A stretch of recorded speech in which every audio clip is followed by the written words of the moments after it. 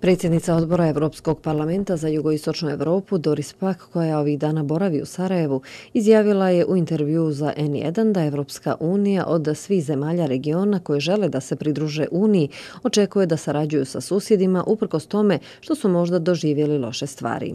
Istakla je da Unija ne želi da zaboravi Balkan, već da ga podrži na putu ka Evropskoj uniji. Konkretno za BiH, Pak ističe da je zemlja usred Evropske unije, da žele da bude u Uniji, ali da BiH mora mora uraditi vlastite zadatke. Iako je Evropska parlamentarka smatrala da će još 96. godine Bosna i Hercegovina krenuti naprijed, to se nije desilo, tako da je BiH danas na začelju zemalja kandidata na putu ka Evropskoj uniji.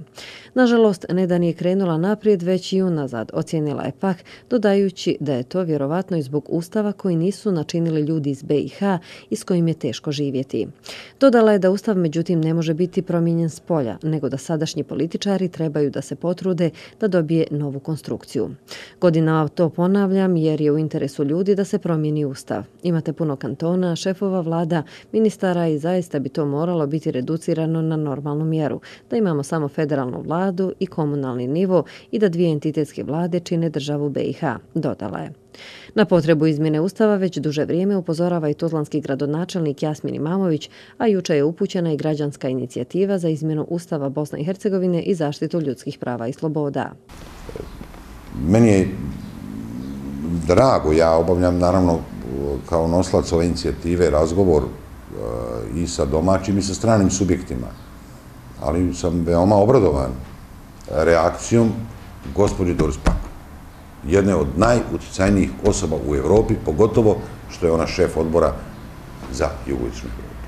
To me toliko obradovalo, dalo potvrdu da ima prijatelja u Evropi i svijetu koji razumiju ovu iracionalnu, iracionalni ovaj sistem, a mi hoćemo racionalni sistem.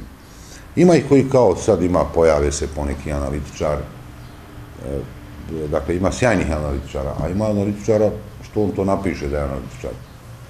Pa kaže,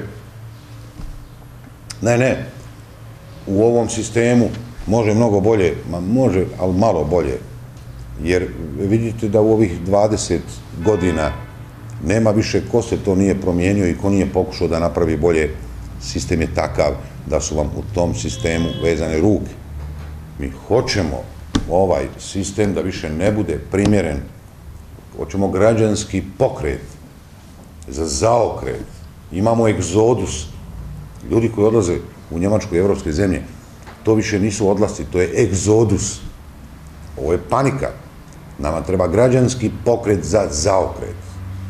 Treba nam pokret za oslobođenje građana od armije stranačkih plaćenika. Doris Pak je potvrdno odgovorila na pitanje da li je potreban Dayton 2 ali to političari moraju željeti i svaki narod mora biti zastupljen. Predstavnici naroda moraju se sastati, a mi izvana ćemo pomoći, ali ne smijemo ništa nametnuti. Dodala je između ostalog pak u intervju u Sarajevu, gdje boravi tokom obilježavanja 20 godina prisustva Njemačke fondacije Konrad Adenauer u Bosni i Hercegovini.